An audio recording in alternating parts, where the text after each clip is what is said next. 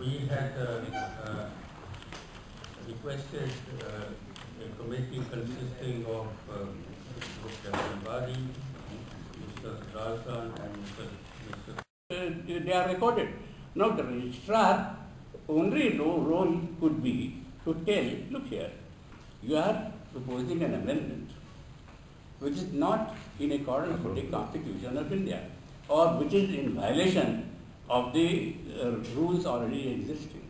And in that matter, they can ask for an, a, a, a note why it is so and then take the, the decision. The point is, registrar has no real role in telling us what rules we ought to make.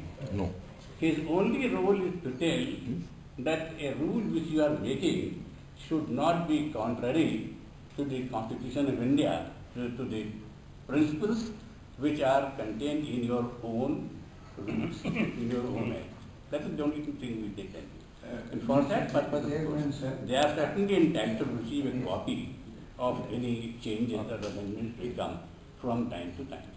And they are obliged to. uh, That's what I am also saying. So That's the, all. it is said, I'm not saying it is anything said that the changes which we have, which we have ever made have never been communicated to the registrar. Yes. That is a fault. We, we are We bound should to- convey, that's what I'm saying, we must convey it to them. Yeah, we I'm are finding bound out that only. the- the- Any, any changes which we make. Let the discussion be on concrete points. I like to draw the attention of the House to clear directive of uh, the accreditation committee which has been summed up by Mr. Usana, who happens to be here. You can ask him any question. But the agreed way forward after all the the discussion and they have summed up what they would like us to do. AGM should be held in December without having elections to introduce the necessary amendments to the present constitution of TII. Elections should be held in February based on the new amendments. Now, the second point, dissolve the present board and create an interim board till elections are held. Elections should be on the basis of the constitution where all members are allowed to vote and are allowed to stand for election. And lastly, a statement of your intention should be sent by TII board to MEC on how they plan to implement the recommendations of, of MEC.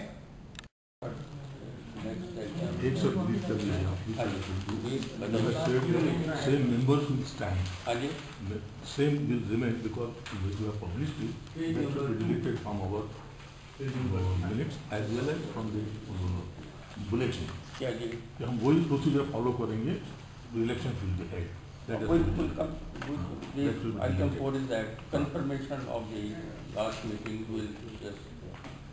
I think we all accept It the is, uh, proceedings. If there is no comment, uh, the, they are accepted. N- Item three is action taken on decisions uh, in the last board meeting. Now, uh, there are one or two points. uh, uh, Sri Pandey had proposed that the evaluator shall be cleared before. Sir, before that, before that, before that, actually, I'd like to add in this para, duration of the board. I have also sent my report says that certain, not to be suppressed, certain fictitious and independent report. ये कहाँ करना है कहाँ पे In the para, in this report, Doctor साहब please note down with break uh, details according we to say that given financial support to anybody. So I listed out a number of activities which every individual member on his own can undertake. But uh, maybe I'm sure some of you must have been taking, undertaking those activities which you have allowed with this mandate, which is project of good governance and dealing with corruption. If not, I will request you to do that and in case you want a copy of that letter, again, we will send that to you. So, so we have been uh, passing through some turbulent time for the last uh, six, seven months. Uh, we have been trying to deal with various issues. Some of those would come up during the discussion now. So the first point on the agenda is adoption of minutes of the last AGM. Anybody has any comment on the minutes of the last meeting, please indicate they are appended in your report.